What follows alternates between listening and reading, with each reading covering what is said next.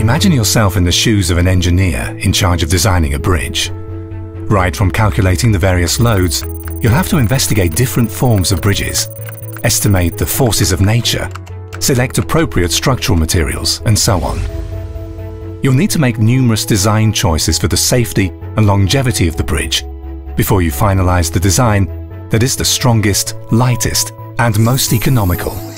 In fact, bridges and aircraft both follow the strict laws of physics and the forces of nature as beautiful feats of engineering. Now can you imagine what it will take to build an aircraft? The co-architecture of an aircraft and industrial system means to have in mind all aspects of making the industrial system the most economic sustainable, the most environmental sustainable, and the most social sustainable system, people in mind. But that means also that it needs to be resilient, and an important aspect of all that is the first time right way of working. In other words, uh, zero defect manufacturing. And this is all about this project. Having in the early phases already all the stakeholders uh, together and uh, setting it up in a way supported by digital means that we can make decisions, the right trades between the various uh, impact of the processes, the technologies, the right sequences, keeping in mind the logistic flows, but also having the right level of automation uh, planned in order to come up with a result which is indeed zero defect and first time right. Current design processes and digital solutions do not support this approach efficiently enough.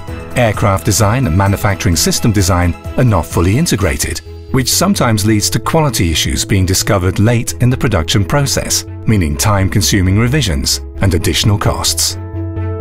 QU4LITY Project aims to demonstrate how European industry can improve its competitiveness advantage and meet Industry 4.0 targets by building unique zero-defect manufacturing strategies with orchestrated open platforms and digital enablers across all lifecycle phases. The objective of Airbus Pilot in QU4LITY Project is to have a trade space framework for autonomous quality manufacturing systems design using MBSE method and semantic web technologies.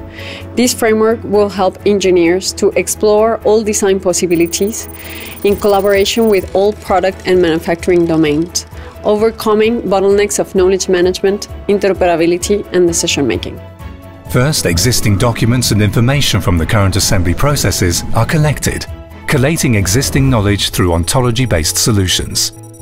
The engineer's knowledge of how they design the assembly process is also included, describing the rules and constraints they follow. With that, the system is ready to support a new assembly process design. A new design starts by receiving an aircraft concept and defining performance targets that the engineer wants the manufacturing system to achieve, like the number of aircraft produced per year and the level of automation in the assembly process.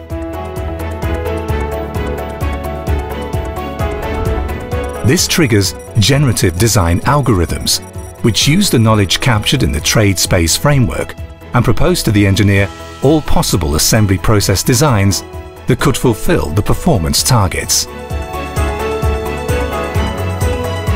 The engineer can then trigger the automatic generation of several simulation models and simulate the assembly process to verify whether or not it will fulfill the performance targets. Any of the assembly process options can be verified in a 3D context to confirm expectations and quality. The process described results in a manufacturing system design that best meets the requirements set. The easy reconfiguration of the manufacturing process will be compliant with autonomous quality concepts. Three of the most important points related to industrial architecture are the definition of interfaces, the consistency of how we define our figures of merit, and the automation or actually the consideration of as large a design space as possible. What QU4LITY is doing with these regards is that it's standardizing our interfaces so that they are pre-defined and or reusable.